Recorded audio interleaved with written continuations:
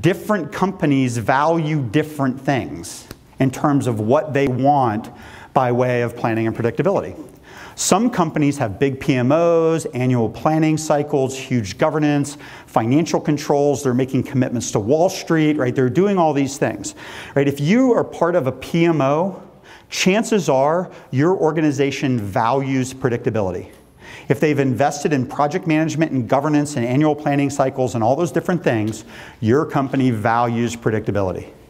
On the other extreme, you have companies that value adaptability. You have companies that value change. So what you have to get people to do is to recognize that they really do need to be able to make and meet commitments. And they kind of do need to be able to respond to change.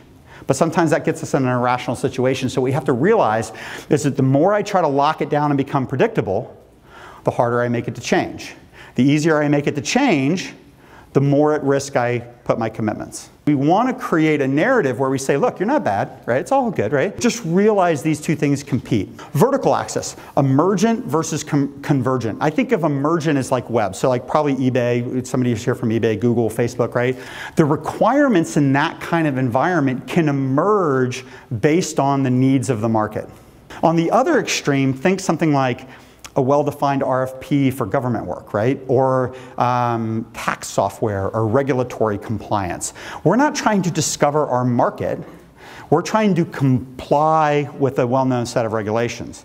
And so I started thinking through kind of this dichotomy between the predictive convergent, trying to make and meet commitments against a known scope, versus the adaptive emergent, which is responding to change, adapting to a market we don't necessarily know exists. And in my head, I was kind of going traditional versus agile, right? And then I had an epiphany one Sunday morning, and I was thinking through, well, if we have a two by two, does a predictive emergent quadrant exist? Does an adaptive convergent quadrant exist? Anybody ever work in a company that's trying to do 18 month planning cycles, governance, all those different things, but stuff feels like it's changing all the time? That's the reason why we want to go agile. So my first iteration of bringing this idea to market was I was talking about why agile fails. And I think the reason why agile fails in a lot of organizations is because we're living in a predictive emergent world. It feels predictive emergent. We're built for predictability, but things are subject to change. Well, so what we do is we go create, do a Scrum pilot, we give it everything, everyone necessary, we give it backlog, we do all these things, and we do it in the adaptive emergent quadrant. No governance, we get you know exceptions to every policy that we have to do, right? And we pilot Scrum, everything works, but then we take the practices of Scrum and we put it back into the broken organization, and what do you think happens? Scrum doesn't work. So it works when you create the conditions for it, but it fails when the conditions aren't present. So getting back to my theory of transformation, what your job is, isn't to figure out whether Agile will work for you or not.